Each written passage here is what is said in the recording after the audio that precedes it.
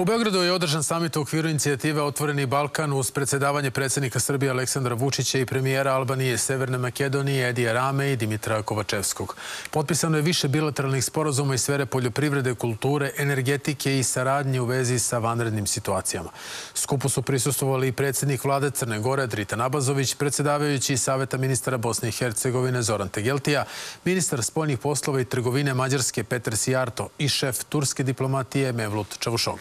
Poštovani gledalci, dobar dan i dobrodošli. Gledate Fokus, vaš i moj gost, direktor Međunarodnog instituta za bliskoistočne i balkanske studije i FIMES iz Ljubljane, profesor dr. Zijad Bećirović. Gospodine Bećiroviću, dobar dan i vama i dobrodošli. Dobar dan vama, vašim gledalcima i hvala na pozivu za učešće emisije. E, stigli ste u Beograd kako biste bili deo samita Otvoreni Balkan. Pa evo, za početak, šta vam govore utisci sa samita? Ja se sjećam kada, smo, kada je bio prvi samit, kada sam ovdje bio sa predsjednikom Privredne komore Srbije, Markom Čatežem, i gledam situaciju juče i danas. To je bio mini, mini Schengen. Jeste, mini Schengen tada je bio. Mhm. Ali to je u stvari znači, preteča samog otvornog Balkana i moram priznat da je zaista mnogo učinjeno, uvažavajući činjenicu da je bila dvije godine znači, intenzivna pandemija koronavirus, da zadnjih evo, sedam mjeseci imamo rat u Ukrajini, ukrajinsku krizu, tako da u takvim jednim poprilično nemogućim okolnostima napravljene vide napredak, ali postavljam sebi pitanje opet na ovom mjestu šta bi bilo da je mini Schengen tada, odnosno otvoreni Balkan, počeo da djeluje u nekom višem kapacitetu, da ne kažemo punom kapacitetu, puno lakše bi prebrodili i pandemiju korona, korona ali i e, e, niz drugih događaja koji su prouzrokovani i ukrajinskom krizom. To je pre svega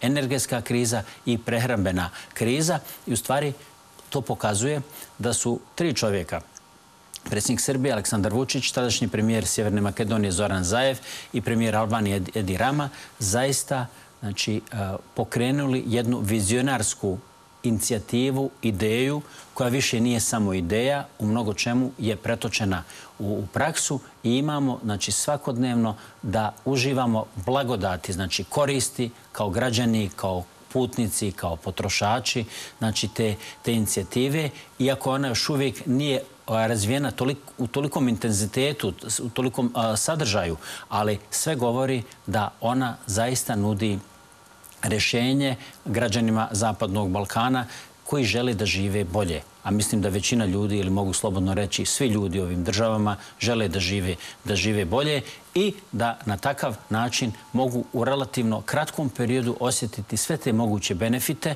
jer u stvari kada uzmemo da pogledamo razmenu u regionu, to je praksa u svijetu, znači uglavnom se u regionu vrši 70 do 80% robne razmjene. Znači tako da ako to ne budu uradile znači, naše kompanije iz ovih zemalja, to će poklopiti, da tako kažem, francuske, njemačke, italijanske ili ne austrijanske ili neke druge, austrijske ili neke druge kompanije. Tako da jednostavno to je prostor otvoren da mogu pogotovo mala i srednja preduzeća zbog ekonomije obima, sinergije znači, e, po raznim aspektima, da ostvare znači, dobre poslovne rezultate, jer nije isto ako ste, ne znam, preduzetnik u Crnoj Gori, imate tamo 600.000 stanovnika, ili ako imate, ne znam, tržište koje treba da bude, kada sve zemlje se pridruže otvorno Balkanu, 18 miliona stanovnika, to vam zaista daje šansu da možete uspjeti. A ovim ljudima, na ovim prostorima, je važna šansa ovo su vrijedni ljudi, marljivi, spremni improvizirati, rizikovati da puno, postigu, puno toga e, postignu u vrlo kratkom vremenu za razliku od klasičnog zapada koji uvaža, gleda sve te aspekte i to ide polako korak, korak po korak. Samo ljudima dajte šansu i ovdje je važno znači, da se razvija demokratija i privatna inicijativa i ona će biti garancija za uspjeh svih ovih država i ovih društava. A malo detaljnije, dakle, e, kako gledate na, na, na značaj otvorenog Balkana za zemlje članice ekonomski. Dakle, e, predsjednik Srbije je izneo zanimljivu ocenu da od e, današnjih razgovora, odnosno od otvorenog Balkana, zavisi ekonomska budućnost. Kako je najavljeno, uskoro se očekuju prve radne dozvole, što bi, evo, baš, kako kaže predsjednik Srbije, bila prekretnica dakle, u razvoju zemalja potpisnica. Jeste predsjednik Srbije Aleksandar Vučić govorio je i o tome ovako na jedan slikovit način, pa nismo mi najgori na svijetu, niti su drugi šta bolji od nas, nego je stvar što moramo da se organizujemo i da znamo menadžirati svim ovim razlikama i svim ovim izazovima sa kojima se nalaze zemlje i, nažalost, teškim nasljeđem koje svi imamo, negdje više, negdje manje, negdje u jednom, u nekom drugom, trećem obliku. Ne pocenjujući sami sebe. Ali ovdje je, znači, vizija je budućnost. Pa i sam sajam koji je otvoren juče, vinska vizija, znači govori o viziji vina, znači proizvodnja, proizvodnja vina. Impozantno je vidjeti na, na, na Beogradskom sajmu znači sve te izlagače iz svih tih, iz svih tih država, ali naravno, vi ste i u uvodu rekli, znači to nisu samo ove tri zemlje, Znači, to nije samo Srbija, Sjeverna Makedonija, Albanija, pa imamo premijera Crne Gore, predsjedavajućeg vijeća ministara Bosne i Hercegovine, ali, znači, dva vrlo važna momenta, to je mađarski ministar vanjskih poslova i trgovine Peter Sijarto i ministar vanjskih poslova Turske Mevlut Čavošoglu. To daje jednu znači, novu dodatnu dimenziju i značaj samom otvorenom Balkanu, a i same činjenice, to iznio i predsjednik Vučić, znači šansa je da u relativno kratkom periodu zbog otvorenog Balkana i njegove pune afirmacije može doći do povećanja brutodruštvenog proizvoda za jednu trećinu, znači dvije milijarde koje se troše zbog čekanja zaostanaka na granicama znači u, u, teretnom, u teretnom saobraćaju, znači da se te razlike eliminiraju, pa vidimo kako uspješno recimo napravljen međunarodni integrisani granični prelaz Tabanovci, Tako da govorite o radnim dozvalama, govorite sada treba da se realizira isto plaćanje putarine znači za ove tri zemlje da bude znači e, e, da bude znači jedinstveno plaćanje te putarine. Neki problem je sada treba da riješe Sjeverna Makedonija i Albanija. Radne dozvole, šta znači fluktuacija radne snage u situaciji kada imamo masovne odlaske ljudi u inostranstvo iz ovog regiona? Šta znači kada imate jedinstvenu radnu dozvolu da čovjek iz Drača može raditi u Beogradu Beogradu ili neko iz Požarevca u Strumici, u Ohridu i u, znači, u svim ovim državama koje pripadaju otvorenom Balkanu. To najbolje znaju biznismeni, znači poslovna zajednica. Poslovna zajednica puni budžete i oni imaju pravo da o svojih znači, političkih struktura traže da rade u njihovom interesu i zato poslovne zajednice u Crnoj Gori, Bosni i Hercegovini, na Kosovu, znači one su zainteresirane za otvoreni Balkan i oni moraju vršiti pritisak da njihove političke strukture znači, urade ono što će biti korisno za poslovnu zajednicu, a ne samo, a kada je znači, korist za poslovnu zajednicu, to će biti koristi za celokupno društvo, jer znači, poslovna zajednica, znači privreda, ona najviše doprinosi, uh, doprinosi uh, svojim radom kroz poreze, doprinose i razne druge, uh, druge takse i dađbine, znači financiranju i same države, a ako je dobar budžet, onda imamo i socijalu, i dobar sport, kulturu, umjetnost i slično, tako da je to su, znači, puno su važniji ti multipli efekti otvorenog Balkana i možda jedna najvažnija stvar, a ona je nevidljiva, to je da se ljudi zbližavaju. Kad smo bliski, kad se upoznajemo, onda ne smanjujemo predrasude, stereotipe, stvara se povjerenje i to je nešto najbolje, jer praksa je pokazala. Znači, države koje imaju etničke tenzije, i koje nemaju riješene odnose sa susjedama, susjedima, komšijama, znači one ne mogu ekonomski napredovati. I upravo kroz otvoreni Balkan eliminirat će se sve to i stvorit će se pretpostavke da zaista ove zemlje krenu naprijed, kao i što zaslužuju njihovi građani, znači barem ovih 30 godina ove patnje i svega što su, što su preživjeli, suočavajući se sa svim mogućim izazovima koji su bili na ovim prostorima, a i mnogi koji su prouzirkovani vanskim faktorom, pogotovo u ove posljednje dvije, tri godine. A kako gledate na političke odnose? Evo, spomenuli ste u jednom trenutku političke strukture u, u, u zemljama u okruženju. Dakle, predsjednik Vučić je istakao i danas e, da su odnosi e, u zemljama unutar otvorenog Balkana na istorijskom maksimumu. Kako vi to vidite? To je, to je apsolutno znači, e, tačno. Znači, mi znamo kako je to bilo s Makedonijom prije, ne znam, 3-4 godine. Zaista su za, odnosi na vrhunskom nivou, ali možda to istorijski najviše važi između, e, za Srbiju i Albaniju.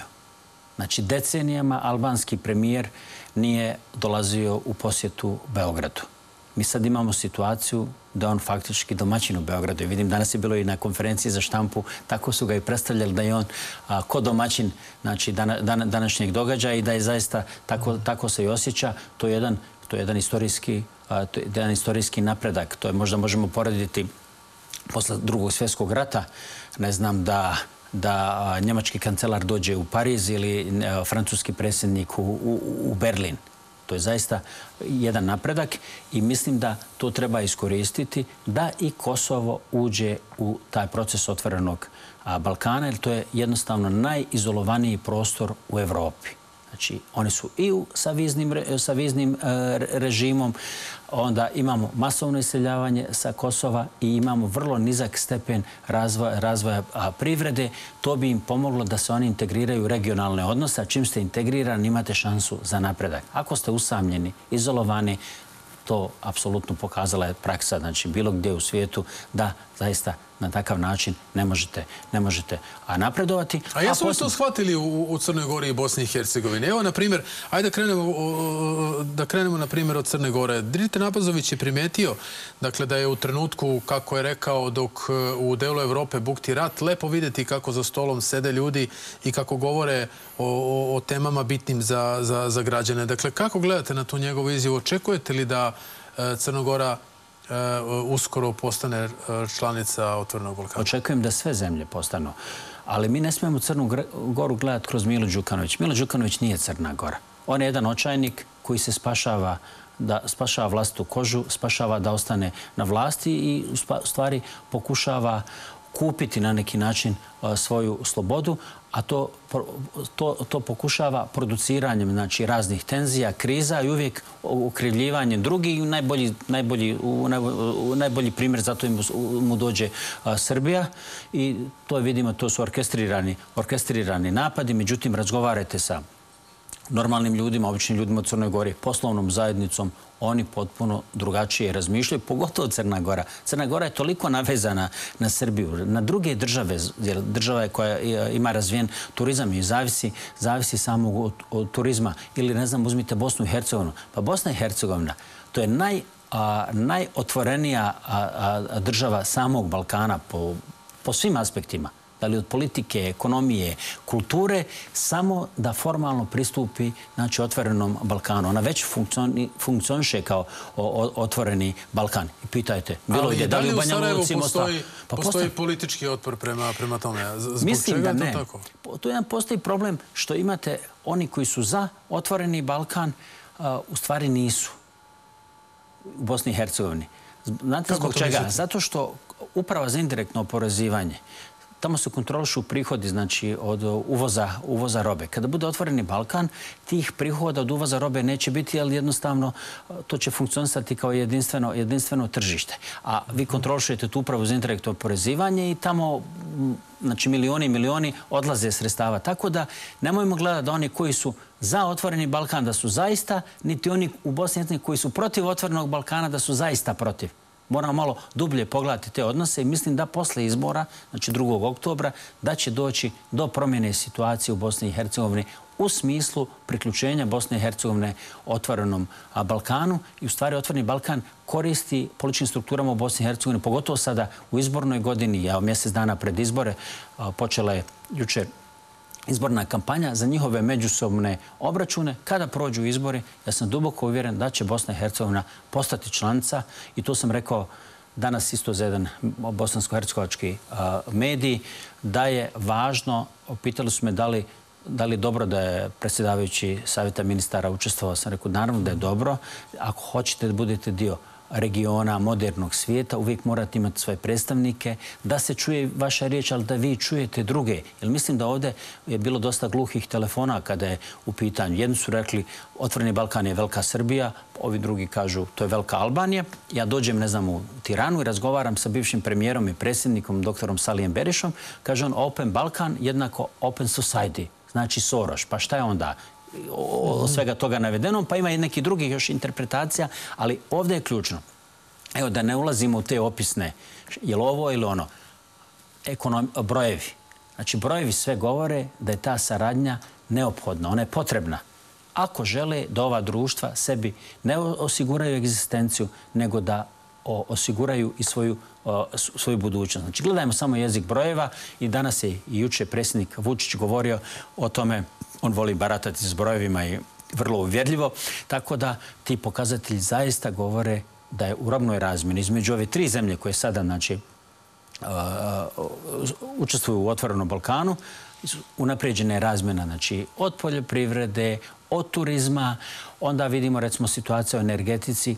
Albanija zavisi od hidrologije, znači ona je, ima hidrocentrale, a vidimo kako je bila sušna godina. Znači, gdje ćete dobiti struju kad vam nedostaje? Ili, ne znam, pšenice, recimo, Srbija je poznat veliki proizvodaj pšenice, pomogla je, mislim, i Sjevernoj Makedoniji, i Albaniji, i Crnoj i Gori. I to je zanimljivo. I zanimljivo su sporozumi, apropo toga koji su danas potpisani. Dakle, evo, gledano kroz prizma ekonomije, odnosno e, opstanka dakle, ekonomskog. E, e, sve evropske zemlje očekuje teška zima. Naravno, nije izuzetak ni e, Zapadni Balkan, odnosno region.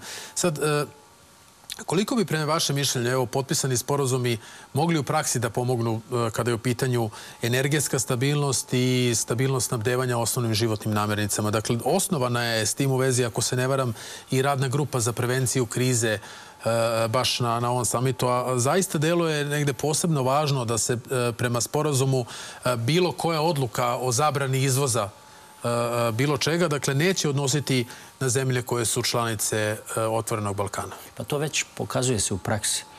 Sjetimo se samo, recimo, u martu mjeseca ja sam bio u Podgorici. Samo za par dana je imala, mislim, Crna Gora šećera, žitarica i zahvaljujući intervenciji Srbije, predsjednik Vučić je odobrio i znači, pomognuto je Crnoj Gori. Pa evo, imamo taj primjer. Sada kada su bili, recimo, elementarne nepogode, to je isto važno. Znači, zemljotre su u Albaniji, požari su bili u Makedoniji, ko je, ko je, kome prvi pomogao. Znači, Srbija ovim zemljama, ali naravno i oni su pomogli, znači, ako je bilo što, što je u segmentima gdje su mogli, znači, i Srbiji. Znači, to međusobno razumijevanje, razmjena, to su resursi, mi samo ne znamo menadžirati. Mi većinu stvari imamo na ovim prostorima i svi kažu treba novac. U nekim aspektima da, ali većinu, za većinu stvari možemo sami napraviti ako bolje menadžiramo, ako smo bolje organizovani, znači i znamo, znamo upravljati svim tim resursima koji su nam na raspolaganju. Pa ne može biti kriv ustavni međunarodna zajednica, ne znam ni tu Bosni Dayton, da li je jedan grad u Bosni i Hercegovini očišćen ili nije, da li ima dobre komunalne usluge ili nema. To je sve na nama ili bilo gdje drugo. Tako da, kako se znamo organizirati, skoristiti postojeće resurse, pa ne kaže se ovaj, džabe, 19. vijek je bio vijek proizvodnje, 20. je organizacije, 21. je orijentacije. Kako se orijentišemo? I mislim da orijentacija ka otvorenom Balkanu jedna sjajna ideja koja pokazuje se u, koja se pokazuje u praksi, a možda najbolje da dam primjer pošto ovdje su komercijalne kompanije, pa neću govoriti imena, mi smo imali jednu vodeću kompaniju u mobitel industriji koja je proizvodila znači, mobitele, bila je lider. I oni se nisu dobro orijentisali. Oni su se orijentisali na operativne sisteme, nisu na androide i oni su sad postali jedna onako poprilično prosječna, minorna kompanija, bili su lider. Šta znači orijentisati se i šta znači pratiti međunarodne međunarodne trendove i, trendove i mislim da u regionu zaista što se toga tiče, znači međunarodne politike apsolutno bez premca Aleksandar Vučić je tu apsolutno, apsolutno šampion. Tako da, znači, tačno zna kako diše istok, zapad, sjever, jug i kako balansirati, jer Srbija mora balansirati svoju politiku. Ona ne može se samo podrediti E, jednom stubu politike od ona četiri na kojima temelji spoljna politika Srbije, upravo zbog takve pozicije i tu je velika vještina opstati i imati određenu važnu međunarodnu poziciju. Vezati se samo za jedan stup bilo u ovom slučaju pogubno za Srbiju, bez obzira koji bi to, koji bi to bio stup. I mislim da je važno kroz otvoreni Balkan da se polako jedan dio političkih struktura u regionu riješi podaničkog odnosa i prema Zapadu, ali i prema istoku i upravo ideja Otvoreni Balkan, odnosno preteča mini Schengen je autohtona ideja koja je potekla od ova tri čovjeka, Aleksandra Vučića, Zorana Zajeva i Edija Rame. A hoće li to biti dozvoljeno, e, gospodine Bećerović, dozvoljeno, e, kada to kažem, dakle, dozvoljeno do kraja, jer e, postoje ocene da ne podržavaju svi u Europskoj uniji E, Otvoreni Balkan. Posebno se to negde e, e, odnosi na na najveću, najjaču zemlju zapravo Evropske unije, a to je Nemačka. Dakle, zašto je to tako? Šta mislite? Pa, već sam govorio. Znači, 70 do 80% robne razmjene je u regionu. I ako mi dobro surađujemo, znači bolje će firma iz Kragujevca raditi, ne znam, iz e, Bileće, iz, iz, iz Nikšića, iz Ohrida ili ne znam, iz Skadra i kada vi dobro radite, onda se smanjuje prostor za kompanije iz Njemačke, iz Francuske, a kapitalički sistem i sama Evropska unija su vrlo brutalni, tako da oni prvo što rade je da zaštite svoje ekonomske interese. Pogledajte ambasade po Beogradu, znači ekonomski atašeji i taj program za ekonomiju, mislim, taj e, department za ekonomiju imaju vrlo jako, jake i normalno da im to ugrožava njihove e-, ekonomske interese. Vi znate kad neka kompanija ima kakav problem ili hoće nešto da napravi ovdje, da dolazi ambasadori pojedinih država i to velike država, znači ministri vanjskih poslova, pa čak premijeri, predsjednici da zaštite ekonomske interese svoje zemlje, da hoće da tu investiciju imaju, da dobiju. Društvene pozicije se ne poklanjuju, osvajaju tu uvijek ta borba, iako međunarodno odnosi izgledaju ovako vrlo lijepo, vrlo je to elegantno i, i, i po odjevanju i po e, stilu, e, e, stilu govora, ali skrivaju se znači, vrlo brutalni, jasni ekonomski interesi i tu su zaista veliki pritisci, pogotovo na male zemlje i zemlje, a, zemlje Zapadnog Balkana, koje žele znači, da svoju autohtonu ideju a, i autentičnu znači, pretvori jedan oblik saradnje koji će njima donijeti koristi, a ne ni Zapadu, ni Istaku, nego prvenstveno, prvenstveno njima i naravno da imate taj otpor i on će biti sve veći kako se bude razvijala ta ideja, ali to je karakteristika i međunarodnih odnosa i inače života. Uopšte, ako hoćete nešto da napravite, uvijek dobijete puno onih koji vas žele ometi, da ne kažem ovaj, e, protivnika ili možda čak i, i možda neprijatelja, ali u tom u sferi interesa. A kako gledate evo, s tim u vezi kada dakle, govorimo već o, o tim odnosima, to što e, prvi put na samitu Otvorni Balkan e, su učestvovali i predstavnici, odnosno ministri spolnih poslova Mađarske i Turske. Čak je Petre Jarto izjavio dakle, da je Mađarska, da bi se Mađarska rado pridružila saradnji zemalja Otvornog Balkana i u narodnom periodu će se raditi na, na, na tome. I Mađarska i Turska, odnosno njihovi čelnici, imaju vrlo pragmatičan pristup politici oni vrlo dobro znaju da i oni dobijaju šansu kao prijateljske zemlje na tržištu od 18 miliona stanovnika, tako da iz vrlo pragmatičnih razloga, ali to daje još veći značaj i važnost samoj ideji, jer ovdje je važnost, prednost prvog poteza. Znači, samo je, ja, ja sam uvjeren da će ove zemlje se pridružiti. Samo je pitanje ko će prije, ko se prije pridruži otvorenom Balkanu, on će imati veće znači, koriste, efekte od samog, od samog otvorenog Balkana. Tako da i Mađarska i Turska znači, vide apsolutno svoj interes, pogotovo što taj prostor Zapadnog Balkana na neki način, otvorenog Balkana, povezuje i Mađarsku i Tursku, mislim, kao, kao, kao dvije zemlje na neki način.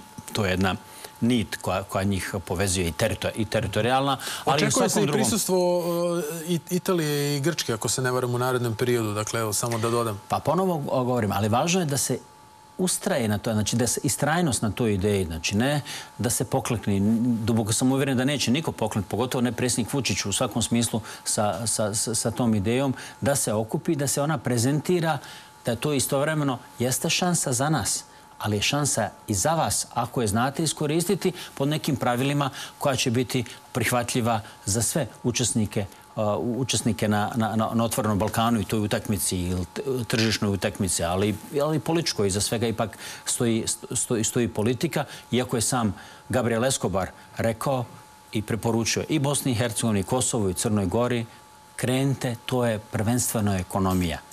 Znači, a ekonomija je bolji život.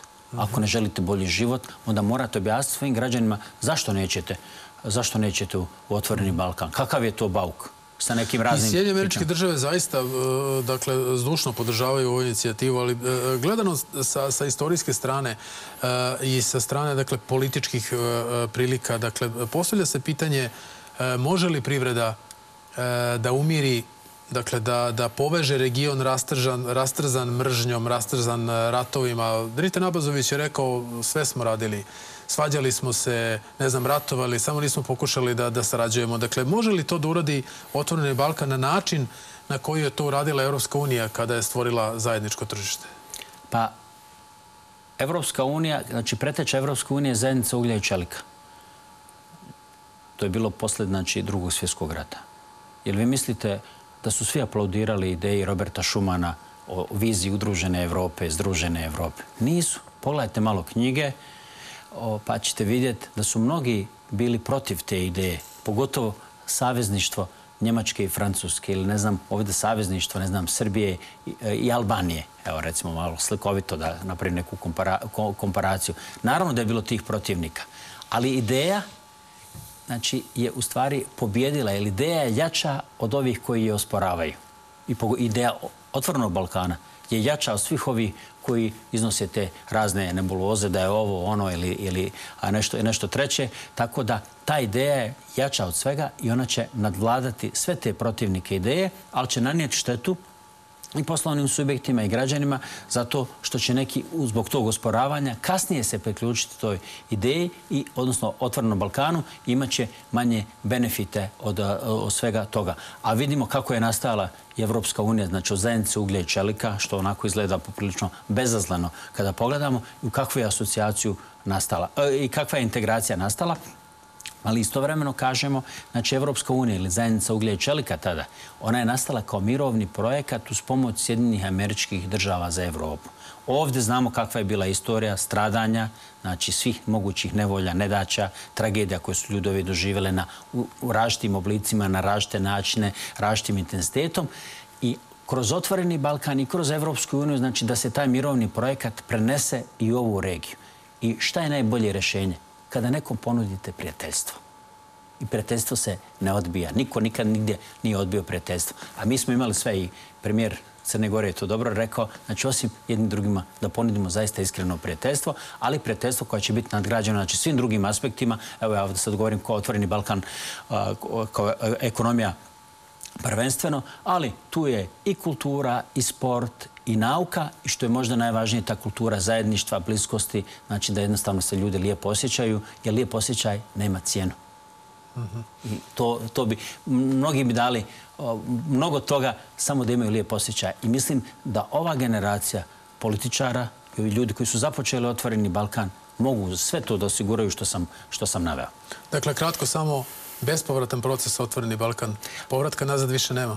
Bezpovratan proces kao što je nepovratan proces demokratizacija Makedonije, demokratizacija Crne Gore. Svijet ide naprijed i sa nama i bez vas. Ali bolje je da učestvujete u svemu tome i zato sam rekao, znači, dobro je da su došli predstavnici ovih e, država, drugih zemalja Zapadnog Balkana koji nisu u, koji su nisu zvanično pristupili otvorenom Balkanu, da budu dio tih tokova. Ako niste dio tokova, znači, pregazit će vas vrijeme, a svijet će otići za vas, a vi ćete ostati znači, jedni, jedne zaostale zemlje, znači zaostala, zaostala područja, ali ovdje dinamika međunarodnih odnosa je vrlo, vrlo velika i rekli smo šta znači ta orijentacija. Ako se ne znate orijentirati, pa naveo sam primjer te kompanije, vidite šta vas, šta vas, šta vas sve čeka. I zato je važno, znači ovdje je uvijek važna spoljna politika, zato što važno je znati trendove. A kad znate trendove, znate se i odlučiti gdje i kako da pripadate.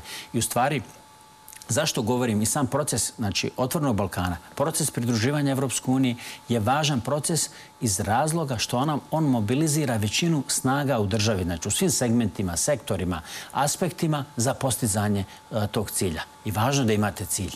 A cilj je ovdje bolji život, naravno mir, stabilnost i da se ljudima vrate osmijesi na lica.